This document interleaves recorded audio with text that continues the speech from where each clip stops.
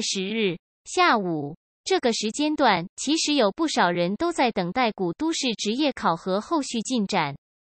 主要是石铁兽进化型发现者石宇，目前正在拿石铁兽参加古都职业考核，而且表现似乎还很离谱，很难不让人关注。并没有让这些无法现场观战的人久等，那些有资格进入职业考场的媒体就直接爆出一个大新闻：职业考核，考古学家 vs 传奇之子，史铁兽力压君王，古都市职业考核最强新人诞生。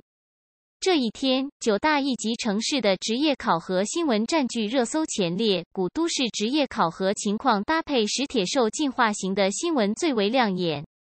随着石铁兽进化型发现者石宇真的拿一只只觉醒了进化血脉，还没进化的石铁兽击败君王种族宠兽，网络上立刻炸开锅。关注这件事的御兽师们纷纷评论。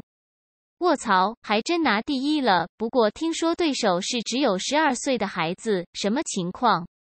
在现场，你管拿着宗岩巨兽和空晶蝶的传奇之子叫孩子？不过和石宇这挂逼相比，尹正凡小天使的确有点像孩子。他还不理解大人的险恶啊！这么说，石铁兽潜力是真的很强。可恶，早知道选石铁兽做初始宠兽了。不过现在也不晚。这个石宇也太强了吧！随着事件的发酵以及知情人士的爆料，石宇的其他资料也被挖了出来。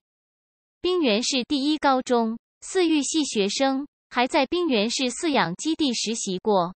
有部分来自冰原市的声音说自己和石宇是同学，但是对石宇本人却不怎么了解，因为石宇很少与人交流，是个安静孤僻的学霸。这些人晒出了毕业时的集体毕业照，可信度很高。正是因此，现在整个网络很凌乱。安静孤僻的学霸，人们又看了一遍生存试炼考核的剪辑，觉得绝对是哪里出了问题。学的是四育，众人看着官媒上大大的考古学家身份标题，更加的凌乱了。现在，这个四育系的考古学家又成为古都职业御兽师考核新人王，战力爆表。石宇本人的身份经历和他的宠兽同样就离谱。冰原市各地前战斗力单位陈凯、成功都沉默地看着后续新闻。这一刻，石宇的名气可以说是再次提升到了一个高度。虽然只是作为一个职业新人，后来肯定会随着热点消失而慢慢被忘记，但刚成为职业御兽师就享有这种关注度的石宇也是头一份了。石铁兽买爆低了，格局低了，石铁兽现在肯定买不起了。有人和我组队去捉青棉虫吗？青棉虫也很牛啊，最主要的是不要钱。万一捉到一条隐藏神秘力量的青棉虫，不赚大了？一语惊醒梦中人，不少纠结自己能不能买得起石铁兽的御兽师，目光都锁定向了遍地都是的青棉虫。东皇古国捕虫少年数量于这一刻激增。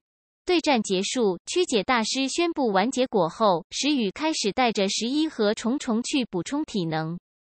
这场对战之前，肯定不少观众都认为他不会拿石铁兽和棕岩巨兽硬拼，因为这样体能占据劣势的石铁兽不一定能讨到好处。当然，这是众人在不知道精通及高速愈合和绝对睡眠的基础上的分析。而石宇表示，或许体能和基础素质拼不过，但是拼爆发伤害和体能续航，对伤害的抵抗能力，掌握完美奥义和绝对睡眠、高速愈合以及缩小的十一，还真没怕过谁。硬化、背化、超视力、绝对睡眠、雷掌、威慑、高速愈合，这一场战斗，这些技能，十一可以说是缺一不可。虫虫那边也是同样，每一个技能都很重要。底牌差不多都用出来了，一些厉害的御兽师之后应该可以分析出十一他们的配招了吧？石宇看着狂吃的十一和虫虫，心道自己的实力，下次质变应该要等契约第三只宠兽或者十一和虫虫进化后了。不过现在的自己也不弱了，职业御兽师分为初级、中级、高级，现在在初级、中级领域，他应该可以乱杀。这两个阶段，御兽师实力差距不大，区别只在御兽空间等级，宠兽成长等级基本是超凡级，而高级职业御兽师才有能把宠兽培育到统领级的能力。据他所知，像寿尔娘学姐，还有古都大学对战社的主力成员，便都是高级御兽师层次。这也是石宇在大学期间的目标，保高级争大师。到时候就有足够的实力，想干什么干什么了。此时，石宇虽然不是很累，但是还是躺在了沙发上，看着补充体能的十一和虫虫，有点惆怅。鹰鸡十一和虫虫见石宇拿了第一都不高兴，不由得疑惑：“吃你们的！”石宇道：“拿了第一，成为职业御兽师，即将获得一大笔资源，本来该是一件高兴的事情。”但是，一想到接下来要加点近两百次硬化，要帮助十一把硬化点满，准备进化，石宇就头大。这可不是无级别技能，而且随后还要帮助虫虫把空间桎梏、瞬间移动、空影点上，然后把虚实幻影、空间桎梏点到可以破茧进化的程度，又是一份超级艰巨的任务。这样一想，或许职业考核这十天才是自己最轻松的时候吧。我啊，最喜欢考试和比赛了。石宇学弟牛逼，强啊！职业考核还没结束，向尹正凡肯定还要跟战胜了盔甲男的张千一进行一次对战的。但熊猫学姐和考古期英杰等人没看后续比赛，纷纷跑来石宇的备战室这边，叽叽喳喳的祝贺起石宇。这几个人完全没想到，石宇竟然真的能拿下古都职业考核的第一名。之前几个人连想都不敢想的，厉害！抱着摄影机的熊猫学姐看着吃着东西的十一和虫虫，表情颇为兴奋道：“哈哈！”石宇坐在沙发上，想起接下来不仅要管十一和虫虫，或许还要给第三只宠兽加点，颇为惨淡的笑了笑。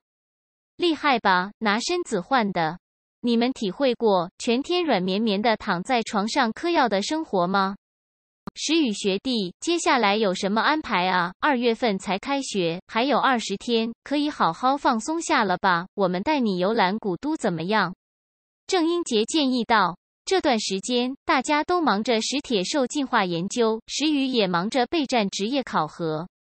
现在，随着石铁兽进化型公布，研究可以暂时告一段落了。深入的研究就不着急了，毕竟这是长期的工作。石宇也成为了古都考核状元，怎么看都应该放松一阵子了。的确可以让他们带你了解了解下古都，这里很大的。熊猫学姐点头建议道：“学姐，你干脆也别回平城了。”林鱼儿道。不行，熊猫学姐笑了笑。她在古都已经待了快半年了，接下来怎么也该回平城看看了。而且石铁兽饲养基地那边现在肯定比任何时候都需要他。我估计也还有其他事情要做。石宇笑着婉拒：“我想去探索下冰原市的冰龙遗迹。这个遗迹和我之前破解的一个遗迹是连环任务，我怕开学后就没时间了。”考古七英杰。尼玛，又要去破解遗迹，还是冰龙遗迹？他们念了这么久考古系，也还没破解过一个遗迹啊！而石宇已经盯上第三个了。你是个人，冰龙遗迹。熊猫学姐眉头一皱，看向了石宇。